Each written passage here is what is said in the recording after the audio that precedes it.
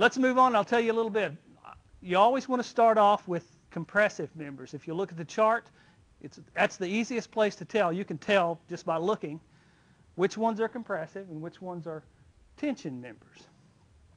It's not always easy to do that by inspection with a real truss, but this chart helps us do this. I call those those numbers underneath those two columns, the tension force slash strength and the compression force slash strength. I call those performance ratios because that's, they show me the performance of the structure. It's uh, the, the, kids that I deal with, they're all real, you know, they're math whizzes and they're, uh, they're physics experts and they understand what a ratio is. They know that that is the actual force on those members divided by the strength of those members. So intuitively, and I always ask them this, intuitively, what should that number be for you to have the best, most efficient design? Should be 1. Well, 1 sometimes fails in the software, so to be actually perfect, it should be 0.99. I always tell them, okay, now it's not going to be possible for you to get every member to 0.99, or theoretically it's not possible. Anyway, Jennifer, if you'll click on compressive force side at the top and sort those in, in ascending order. She just did that. You can, you can sort them in descending order. So real quickly, I can look at the tension side and drop down to where the last 0.00 is, right there. No, it's member 19. Click right there, and that'll select that member, and it also selects it over here. You can also select the member right on the CAD format as well. Every member from there up is a pure compression member. And we know what compression is. Compression members tend to do what? Tend to shorten. That's right. So what would be a good example of a compression member? How about uh, chair leg? Right? Chair leg would be a good compression member. So intuitively, we could look at a chair leg and we could see that if we had a chair leg that was short and pretty good, pretty good size around, that would be a fairly efficient column or compression member, right? If we had a long chair leg that was really skinny, that wouldn't be quite as quite as good. It would tend to buckle, wouldn't it? Because that member wants to compress and shorten anyway, right? So it's very important when you're building a bridge, you want your compression members to be as short as possible. Hey, there's the first tip of the day. Short compression members.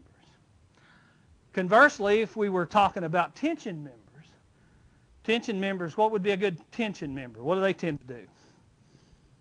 Tension member tends to pull apart, right? Tends to lengthen. So a good tension member might be a rope, right?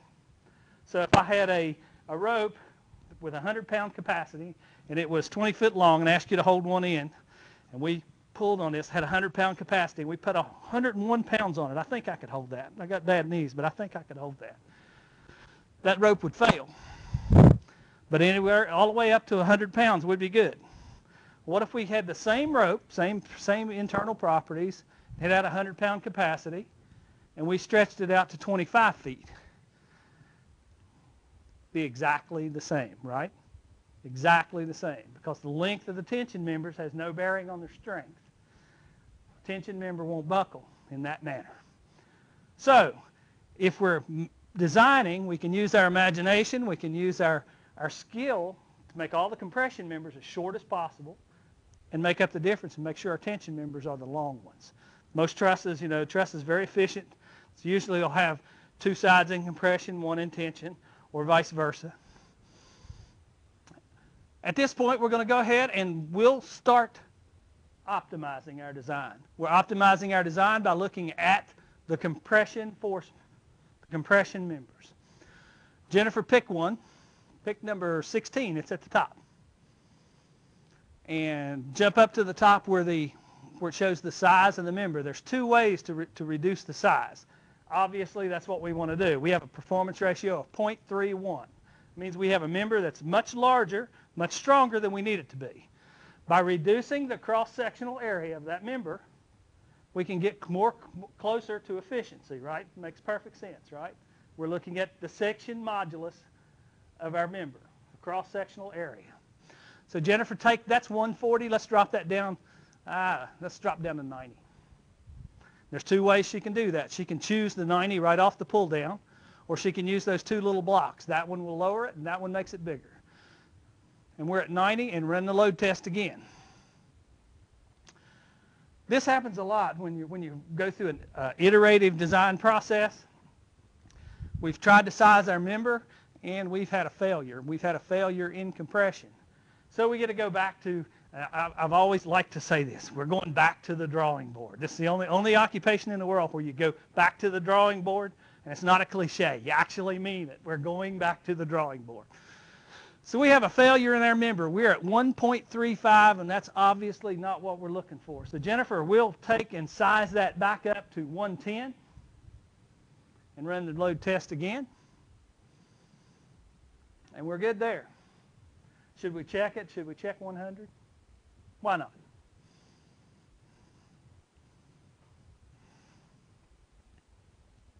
And I think we're good. If you'll look, we're also keeping track of the cost. Just by making that one member more efficient, we've saved $1,000. Everybody, eh, can everybody see that? We can also drop over to the left. You see where it says iterations, and we talked about those, but there's two little arrows there. If you pull that pull down down, it actually shows you our progress in going to. So we could, if we wanted, we, we decided, nah, we're not going to do this, we're going to do something else. We could go back to anywhere in that and choose one of those, hit OK, and we'd go right back to where we started. So when you're up at 2.30 in the morning, you've got 15 designs going on, and you thought, ooh, I didn't want to do that. I've done made them all this, and I didn't want to do that. You can just jump right in there, click on it, and go right back, and you're back to the drawing board starting over. Jennifer, go ahead and pick the next one. That's member 29. That's a top chord member. I'm going to go ahead and see if you can find a proper size for it. Good place to go would be there. Back to the drawing board. Let's check that number of 0.91. So we have two members now, one at 0.95, one at 0.91. That's pretty good.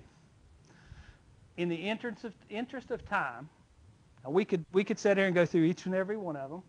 We can also do a lot of them at once. Jennifer, go down to member 19. Click there. And then go up to member 30 and hit the shift button and select them all. You see I selected them all. So now Jennifer, you can size all of these at the same time. So you could actually take these down to 80 millimeters by 80 millimeters.